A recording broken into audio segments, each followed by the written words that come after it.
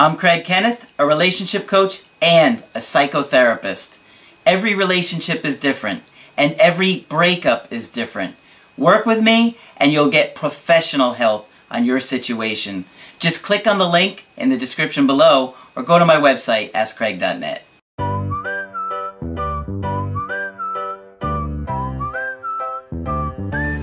Hi there, I'm Coach Craig Kenneth, and in this video, I'm going to be talking to you about why did she need space? Well, have you ever dated somebody and all of a sudden they said to you that they need space? Absolutely terrifying because in a lot of cases, we know what that means. A breakup is not far away. Well, there's a lot of reasons why someone could need space. Maybe you guys are arguing, maybe they're rethinking things, and maybe there's somebody else in the picture. And in this video, I'm going to be talking about an email from a guy who's in that type of situation. Let's take a look at what's going on here. I think this is a good video for you guys. Um, the email is from a guy that's in his early 20s. Girlfriend is roughly the same age. He says, I have been dating this girl for almost a year. I met her on Facebook and she lives let's say out of state. I don't want to give the location. When we first started dating, she was devastated over a boyfriend who never paid her any attention. Okay, that's big. She's devastated over a boyfriend. Is she over him? That's important. I comforted her, and we had a lot in common. We both quickly fell in love. Even though we dated, she kept me as the guy she cheated on her boyfriend with. So, she cheated on this boyfriend that she was devastated over. So that tells me that she doesn't have a lot of integrity. Okay? She was with this other guy, he was not treating her well, and instead of ending the relationship, she cheats with this guy. So, what does that look like to you? Well, to me, it looks like she was using this guy to comfort her and to calm her because she was devastated over the other guy. She eventually left him and tried dating me, but said she needed space. Soon after, she was wishy-washy and sometimes really hot for me and others really cold. And made sure to let me know that even though she loved me, we were just friends. You were just friends? You guys have been dating for a year and hooking up all that time? And she's just friends? What's going on there? Sounds to me like she's not over this other guy. She's probably waiting for her opportunity to get him back. I took her on a cruise and we made love and most days were phenomenal. When she left back to her state, she said that she wanted to room with me in my state, and it all sounded so romantic. They live in different states, by the way. Next thing I know, she said she was flying to see her boyfriend first, and she did. So instead of going directly to him, she goes to the ex-boyfriend? What's going on here? you're not the boyfriend? He's the boyfriend? Is he... I mean, what is their relationship? It sounds to me like he's long distance from her as well, and she's like, well, I'm to just go see both of you to kill two birds with one stone. She is obviously hung up on this guy big time. And you are not her priority. Alright. He says, I begged her not to go and cried and then said I was okay with it when she became upset at me. She told me she missed me and sent me pictures of him with another girl while she was there. Okay, so this girl has made the ex her priority, and this guy is just backup. And then she's so hurt over the other guy, she doesn't care about how he's feeling, and she sends him pictures of this dude and another girl? This situation is not healthy. Not a healthy situation. Her and my sister talked, and from what this girl, we'll call her uh, Betty, from what Betty told my sister, that they got back together even though he treated her horribly while she visited him and he got caught cheating. So, look at the dynamics of this situation. This girl is completely hung up on a dude who doesn't even care about her at all. Meanwhile, this guy is hung, hung up on a girl that doesn't care about him at all. This situation is so unhealthy for everybody involved. He cheated on her when they supposedly got back together. I mean, this dude is waiting for her to leave him to come to him. But he's cheating. This is like, we need like chess pieces here so we can line them all around and make a little map of who's going where.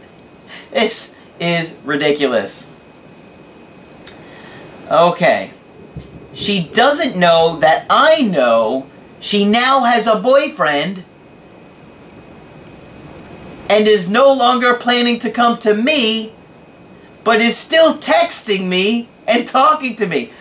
This woman is so selfish and so self-absorbed, and this guy has no self-esteem that he's tolerating this because he knows she's back together with the guy who is treating her like garbage, and yet he is like at the bottom of all of this pile. Should I tell her I do not want to be friends anymore unless she wants something more? Well, I think you need to have some self-respect here and say, look, this situation is not okay with me. You want to be with that guy? Go be with that guy. Have at it. If it doesn't work out with him, then contact me and we'll see what happens from there. But honestly, this woman does not hold you in very high regard because if she cared about you, she would not lie to you, be deceitful to you, manipulate you, and use you as an object to comfort her. So I don't like the way she's treating you at all, and I don't like the way you're treating yourself because you cannot let this woman do this to you. She doesn't respect you. Think about it. She's been hiding things and she just keeps you, yeah, yeah, yeah, I'm coming to see you, I'm coming to see you, when she has no intentions of it. Think about it. Since we were only dating and never technically got together, I guess we never technically broke up, even though she gave me all the benefits of a girlfriend, but with no title. She called me when I was a little short, but kind when I returned her call. She just texted me asking if there was something wrong and I should let her know if there is. You probably should. I don't know if I should just act okay or take that as an opportunity to tell her I no longer want to be friends or not. Well, she's not acting like a friend. She's using you. She treats you like your backup. I mean, if it doesn't work out with this guy who is treating her like absolute garbage, then she'll come and see you. So I would definitely stand up for yourself because she is never going to respect you or love you in any way because you're not respecting yourself. I love her and we've shared love and made love. I know that in time, if I don't smother her, I can make it work. I want her on the first plane back to Texas. Well, you're acting just as selfishly as she is. You're obviously completely ignoring what she wants. She doesn't want you. You're an emotional crutch. Sorry to say it, but look at her actions. She doesn't care about you. And that is not a reflection of you or who you are as a person. She obviously has a lot of trauma and abuse in her life because she's tolerating being treat, mistreated so poorly. But you're doing the same thing from her. Occupying my time with school and my career in the meantime. Her mother is an abusive relationship. What I say? And she doesn't have a good relationship with her.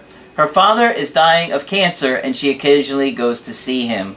Well, that's incredibly stressful and painful to watch one of your parents go through that. I don't know how close she was to her dad, but that would be very, very difficult. She was molested as a kid, and her family was very critical of her growing up. Her two biggest problems was that she said we had a relationship is that I had to go to my parents too much, and that is very unattractive to her. And that I get too clingy to her when she doesn't even know if we will end up together. Well, if you take a look at this situation objectively, you're going to see that her behavior with you is not very good. She just doesn't seem to care about you. Her actions show it.